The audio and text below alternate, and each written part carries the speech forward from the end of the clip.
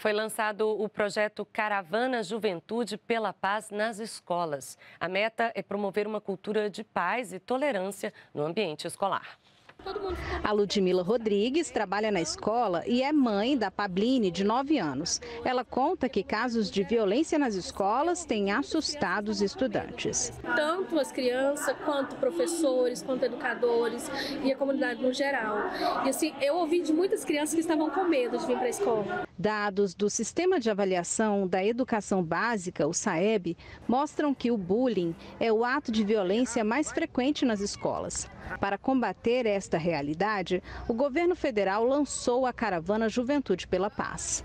Não pode brigar, não pode xingar, entendeu? Não pode falar essas coisas ruins. O lançamento da caravana foi nesta escola aqui em Goiânia.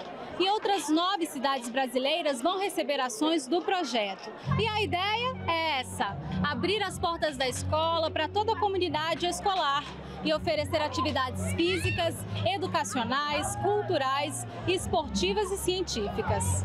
O projeto faz parte das ações do governo federal para combater a violência e difundir uma cultura de paz e tolerância no ambiente escolar. Lançando um projeto é, pela paz, uma caravana que nós vamos rodar o Brasil, dialogando com as pessoas, conversando nas escolas, com os estudantes, é, com as direções, com os alunos, com a comunidade do entorno, para que a gente possa estimular a cultura da paz.